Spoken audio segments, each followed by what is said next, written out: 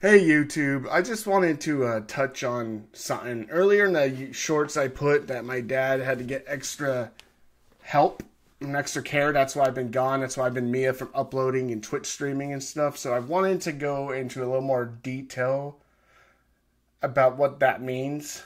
So, you know, I consider you guys like friends and stuff. You know, I'm a bad friend. I go ghost for a while. But I think a look behind the private life will kind of makes sense of why I've been such a kind of an inconsistent content creator.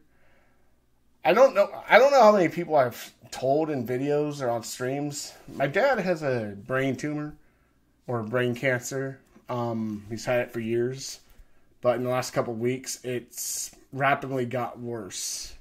It's spreading. It's gotten worse, and I've been having to caretake a little bit and help take care of him because my mom also needs to have neck surgery. Yeah, a lot's going on right now, guys.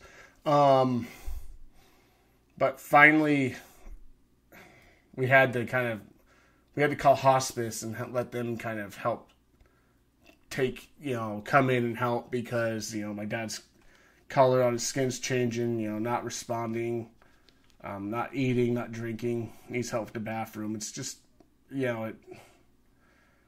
Cancer sucks, man. Cancer sucks it takes a lot of innocent people's lives.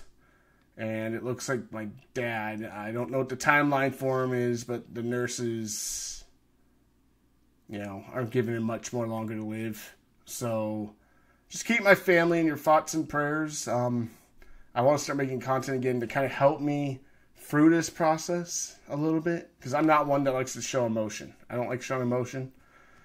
But so, you know, making content and doing something I enjoy and maybe talking to some people help me out. So, yeah, that's where I've been. Kind of a tough time of transition right now, trying to figure this out and what life will be when my dad passes. Um, keep my family in your your thoughts and prayers and screw cancer, man. It, it sucks. And I don't wish it upon anybody or anybody's family in general. And I'm my own worst enemy. Thanks, guys.